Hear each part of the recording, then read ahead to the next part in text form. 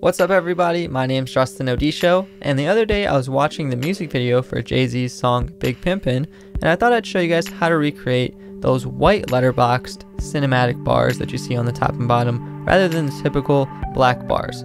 So this is a very simple process to actually do, but it comes with a bit more of an in-depth reasoning and explanation. Since these are fake bars, you might want to know the rules before you break them, but first I'm going to just start by dragging our clip onto the timeline and showing you how to create it, and we'll explain a little bit more afterwards. So if you create your sequence by just dragging the footage on the timeline, it'll automatically create it based on the size of the clip. So this is a 1920 by 1080. This is the typical standard size you see on YouTube videos and pretty much every format online. Now when we think about a more cinematic or film ratio, it's a little bit wider and so when you try to fit something that's more of like a 2 3 5 to 1 ratio rather than a 16 to 9 ratio into this 1920 by 1080 box that you see on YouTube and whatnot, you have to squeeze the sides in a little bit, which creates black bars on the top and bottom so you can still see the full picture.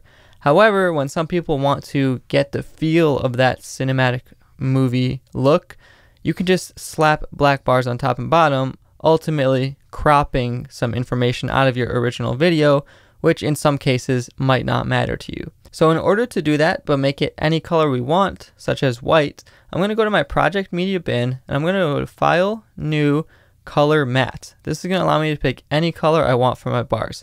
In this case, I'll choose white and press OK. Now I can click and drag this on top of my sequence and extend it as long as I want. And I'll click and highlight it and go to the effects control panel and search for our effect called crop. What we'll do is drag this onto the color matte and we're going to crop the top and bottom. So for this color matte, I'll go to the top and I'll crop it about 87%.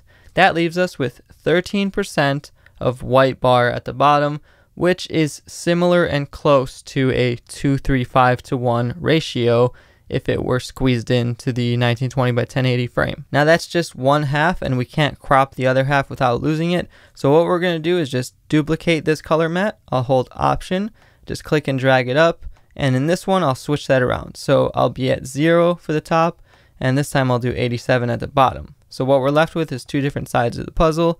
That creates our white letterbox bars. Pretty simple. We can select both of those, right click and nest them together if we just want one easy layer to work with. And if you want to extend it to be shorter or further, you can just press R to activate your rate stretch tool and then stretch it inward or outward to extend the length of it pretty much. So that's one way to get a color bar on top of everything without having to create it in Photoshop. This will work no matter what size you're working with, 4K, 1080. And a few things to note are, yeah, you are losing some stuff at the top and bottom. So you actually can go to your bottom clip.